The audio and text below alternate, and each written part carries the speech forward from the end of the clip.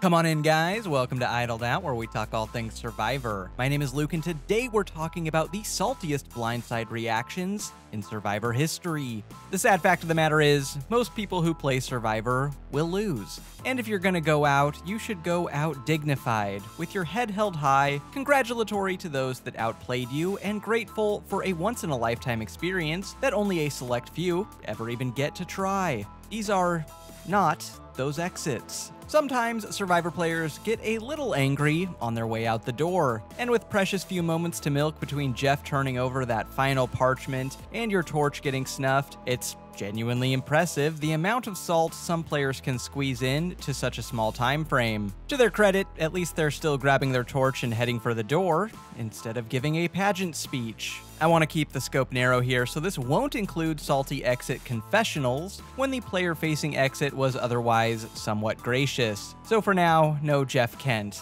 Don't worry, we'll talk a lot about him when we talk about five times the prize money was only 600 grand by the time Obama takes it. All that said, let's take a look at the saltiest exits in Survivor history and the high sodium players behind them. At number 5 is Andrew Savage's bird flippin' exit in Survivor Cambodia. Because this theme season is second chance, almost everyone is given a story about fixing the mistakes of their past games. Spencer wants to act more humanely, for example, and treat people like humans, not chess pieces. Varner's disappointed he didn't out more people in his first time around back in season 2. And Andrew Savage's entire story in Second Chance is how Survivor Pearl Islands is the only bad thing that ever happened to him. I mean, when you see a guy with teeth this straight and white, you know he lives a charmed life. He's got an amazing career. He makes so much money he doesn't know what to do with it. He's got beautiful, intelligent daughters, and his wife is still so smoking hot, just the thought of her hotness brings him to tears. Everything about Savage's life is incredible, except that time he was cast on the biggest reality show in the world, flown to Panama, and went out mid game, one round shy of the jury phase. Truly haunting. So, on second chance, Savage needed to make the jury phase of the game to get some closure. He started on the Bayon tribe, where he aligned with Jeremy and was quickly in a power position at the top of a dominant tribe. Probably the toughest time in Savage's game is at the pretty unfavorable for him swap, where he's sent to start over on a new tribe, Angkor, with only Tasha from his original tribe, up against four original Ta Keo. Thanks to Abi's chaotic, vengeance-fueled gameplay, Savage survives two rounds on this tribe where he probably should have gone home. At the merge, Savage reunites with his old alliance, but because of some intra-alliance rivalries, the nine-strong majority alliance don't split their votes on Wentworth in episode 8, and she negates all nine votes against, sending Savage home with three measly votes from Kelley, Abi, and Ciera. You know, he seems to be holding things together well enough, but loses it when Abi offers some words of encouragement. You made it to the jury. Right back at you. The hilarious thing is, I think Abi was genuinely trying to be kind here. While Savage might have needed to make the jury stage of the game to get some closure in his life, I didn't even know how much I needed Savage to make the jury stage of the game until I saw his jury bench fashion, which appears to be straight out of Azumi's in 2008? What's going on here?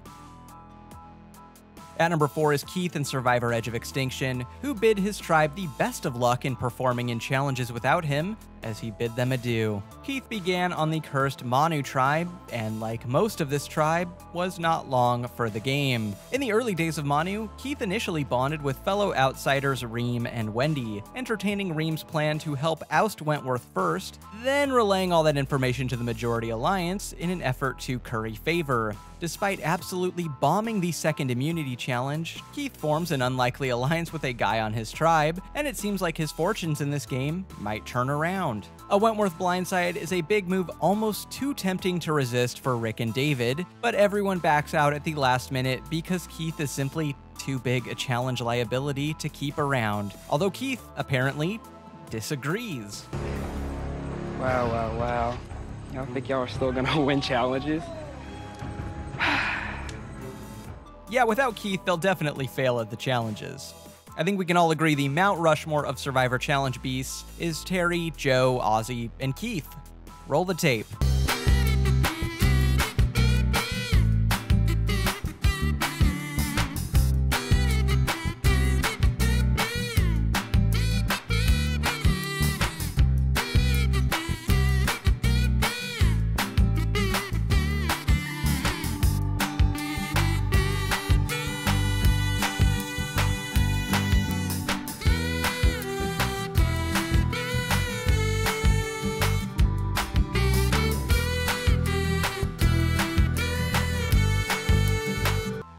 Honestly, he's still probably a better challenge asset for Manu than War Dog. Ah, f it, roll that tape too.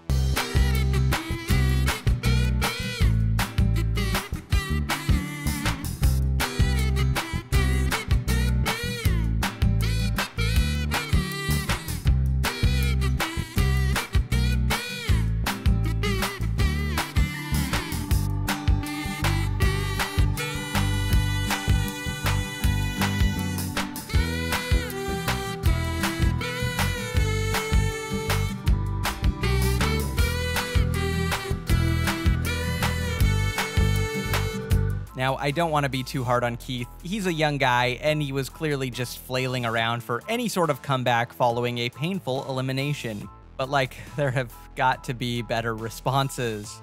It's like if Zayn said, good luck with strategy, or if Wendy Joe said, good luck having normal social interactions when they were voted out. It just doesn't ring true. In fact, given Keith's documented lack of challenge ability, this almost could be read as genuine. Like, Good luck in challenges without me. Oh, thanks, man. At number three is Michaela's blindside in Survivor Millennials vs. Gen X, courtesy of Jay.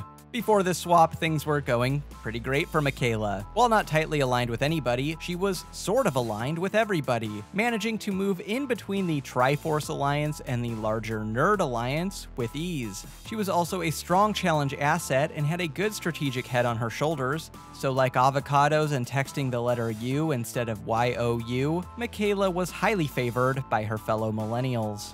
Michaela also gets a pretty sweet deal at the swap, sent to Ikabula with millennials Hannah, Jay, and Will, and Gen Xers Brett and Sunday. Ikabula remains intact until the last round of the swap, when they lose the immunity challenge and must vote someone out. It seems pretty clear to the four millennials that Brett has to go, He's on the outs numerically and a pivotal member in the main Gen X alliance. On top of that, this group of four millennials is a group Michaela sees going the stretch. She's putting complete trust in them and genuinely talking Final Four with these guys. She's so into that idea that she starts using rocks and shells to explain how the four of them can play the upcoming merge and kind of snake down the middle of all the alliances. Michaela putting her full and complete trust in him and showing him directly how she can get him to the end causes Jay to have an epiphany that Michaela should go home pre-merge. Even though, as he admits to Will later, Michaela hasn't lied and her only alliance is the two of them. I mean, sounds like a pretty good reason to keep someone to me, but uh, what the heck do I know? So Jay and Will team up with Brett and Sunday to blindside Michaela right out of the game. And at Tribal, Michaela's salt levels justifiably go through the roof when she sees the telltale third vote for her. Michaela.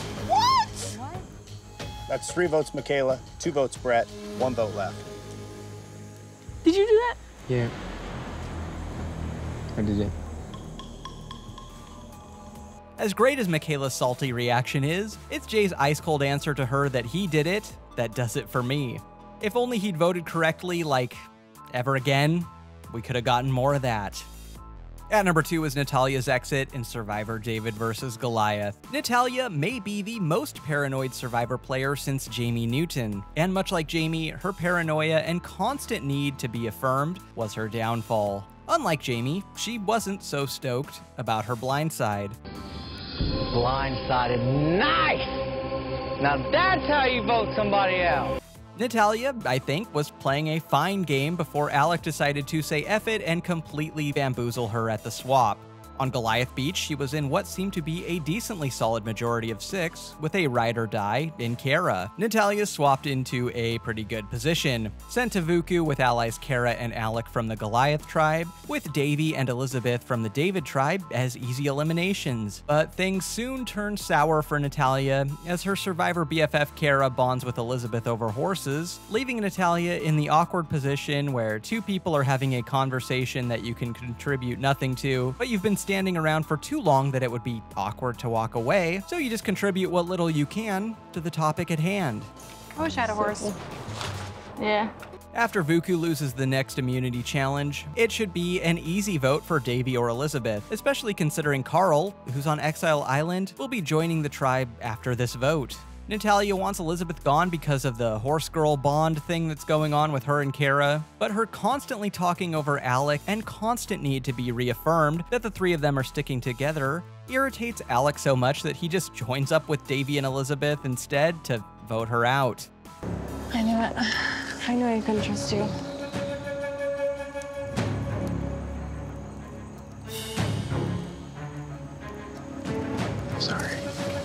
Sorry. Shut up. This elimination's so good, I can even forgive the obnoxious, unsubtitled tribal council whispering moments before. Why are you smiling? Oh my god, I can't handle you right now. The saltiest exit in Survivor history is. Who else? Judd in Survivor Guatemala. Here are a few fast facts about Judd. He's the first player to receive an idol clue, he's not a bad sportsmanship, and he does not have ADD. Judd started on the Nakum tribe, quickly earning his keep as a needed physical competitor in challenges, able to go toe to toe in the very tough Guatemala challenges against powerhouse Gary Hawkins, a humble landscaper who definitely was not ever in the NFL. At a 4 4 swap, Judd is swayed to join the old Yaxhá members by Stephanie and Jamie into voting out Brooke, kickstarting a feud with his old tribe mate Margaret, who's mad that Judd jumped ship. That boils over in a legendary tribal council rant from Judd in episode 6, where he accuses Margaret of calling him a bad sport. He is, asks his tribe if he listens to them, then steamrolls over all their answers, and then accuses Margaret of saying he has ADD. She did not. Well, who needs Margaret anyway? Flipping was a pretty good move for Judd as it ingratiated him with Steph, Rafe, and Jamie, and they enter the merge with a majority and begin picking off the other tribe one by one. When the last member of the opposing alliance, Danni, wins immunity at Final Six, she orchestrates an underratedly good vote to get rid of Judd, convincing Stephanie that Judd's still upset about them blindsiding Jamie, and she even gets the Juddisms right. I mean, she's short about a half dozen mans, but still, with Steph, Rafe, and Lydia locked in, the episode culminates in a Judd blindside, as he's taken out by the very members of the Alliance he initially flopped to. Judd. Thanks, guys. Hope you guys all get bit by a freaking crocodile. Scumbags. Judd's parting words are the perfect encapsulation of him as a survivor character. Vindictive, accidentally hilarious, and very, very salty. You know, you've got to admire a man who wishes death upon the rest of his tribe on his way out the door. Got nothing else for you. Don't be a scumbag, like and subscribe, and I'll get you more Survivor content just like this. Until next time, don't get idoled out.